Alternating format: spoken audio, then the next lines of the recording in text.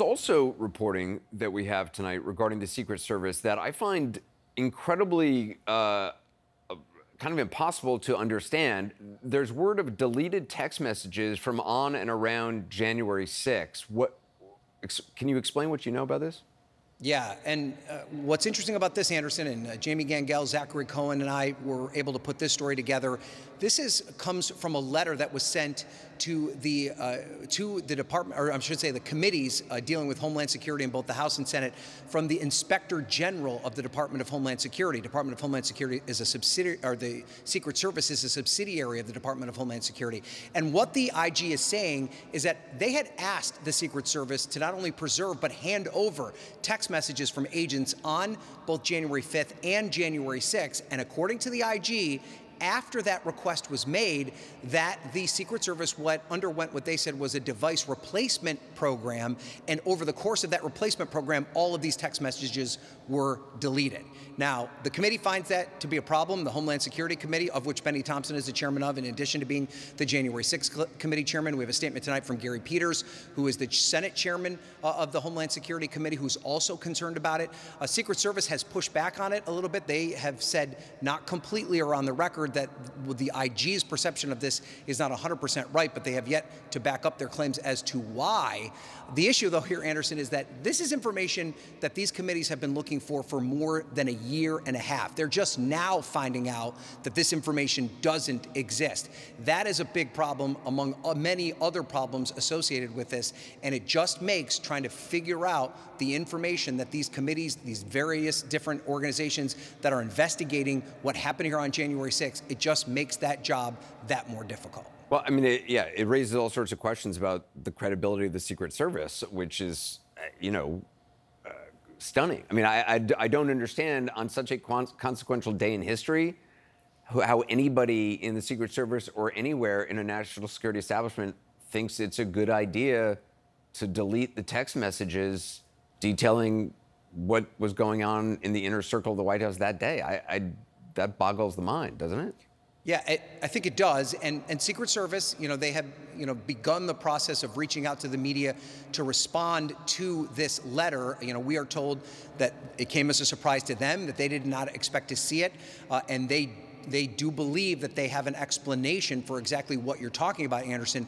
We have not been given that explanation yet, uh, but they they they say that there is an easy way to uh, allow us to understand exactly what happened here. So we should give them the benefit of the doubt. They haven't had the chance to completely respond to this. But you're right. And, and you know, in, in total, there's been a lot of questions about the Secret Service, the role they played uh, in terms of what happened on January 6th with the former president and the former vice president. Uh, and so all of these things are questions that the committee has that they want answers to. And again, when you don't have all the information, it makes it that much harder to paint the entire picture that they want to paint for the American people. Yeah, Ryan Nobles, really appreciate your reporting as always. Thank you. Joining us now is CNN contributor, former Nixon White House counsel John Dean, CNN national security analyst Juliette Kayyem, former U.S. Assistant Secretary for Homeland Security, which oversees the Secret Service. CNN senior law enforcement analyst Andrew McCabe, former deputy director of the FBI, and CNN law enforcement analyst Jonathan Wackrow, a former Secret Service agent. Jonathan, I got to start with you.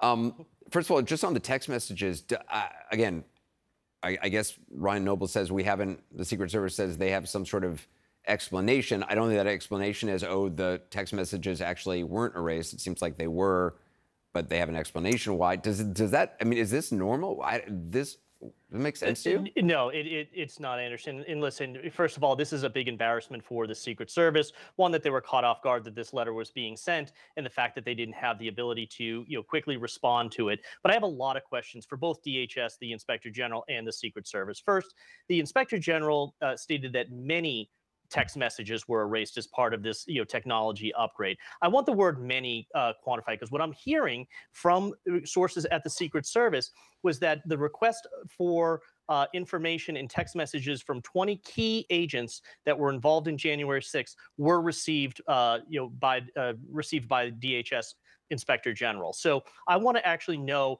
you know, is missing text messages a material part of a material um, fact in the their investigation? If the answer is yes, the Secret Service really has to come out very strongly and articulate exactly what happened, why those text messages were missing. And again, it it, it also leads to a, a second order of consequence, which is were they in violation of the Federal Records Act? If you are going through a technology upgrade, you need to have safeguards that information that is critical in terms of preserving data and information is adhered to, and that is the law.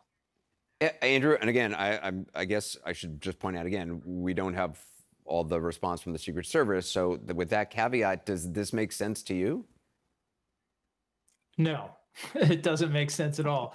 Uh, I think what Jonathan said is absolutely right. And let's let's remember here, back up one step. The Secret Service is an investigative organization. They don't just do protection for the president and other dignitaries. They investigate cases. And part of investigating cases, you have an obligation to preserve information, both good and bad, and turn that information over to defendants in the course of criminal prosecutions. You have discovery obligations and text messages between agents come within the scope of those discovery obligations. So if this is a, a, a, pattern or practice of routinely losing text messages, that is not consistent with the efficient and lawful running of an investigative organization. So there are many, many questions that need to be answered here. I agree with Jonathan that. Uh, uh, there's there's a lot more that we don't know here. There may be some uh, non-nefarious uh, uh, answers to some of those questions, but boy, there's a lot of information we need. Right, Juliette. I mean, the idea that messages are deleted as part of what's called a device replacement program after they were sought by oversight officials. Again, if that is in fact the case,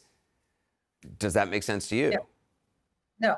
I mean, I, I think it, it doesn't sound credible so if there is a credible explanation, the Secret Service needs to provide it. This this sort of normal upgrade that they're talking about uh, would still retain your text because they're part of government service and therefore retention purposes. Plus, I mean, let's be serious, Secret Service you you know what happened on January 6th and this is going to be the moment in which you're not protecting the evidence that you know might be relevant. Also, I mean there's there's also another problem here which is of course the Department of Homeland Security also exists. It oversees the Secret Service. It really needs to get out in front of this. This is their component agency.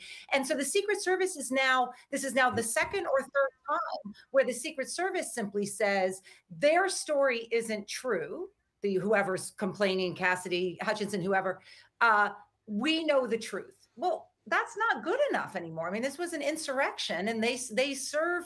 You know, they may have a a, a job, a mission, but they actually take an oath of office to protect the Constitution. John Dean, I mean, if it does turn out that text messages were deleted intentionally for whatever reason, and the Secret Service strongly denies, but again, has not offered any real explanation here do you think that creates any legal jeopardy for those involved? It certainly could if they intentionally did it, if there was some uh, nefarious reason that they did it. Anderson, I'd also put this in the context. This isn't the first time information from the Secret Service has gone missing on the 6th. The president's daily diary for that day has a seven hour gap. The Secret Service is one of the principal entities that feeds the diarist that keeps the record uh, of the presidential record for that day. And apparently the Secret Service couldn't supply information about that day, so there's seven hours missing there, too. We've never had a good explanation of that. Uh, so this is a pattern, and it's troubling.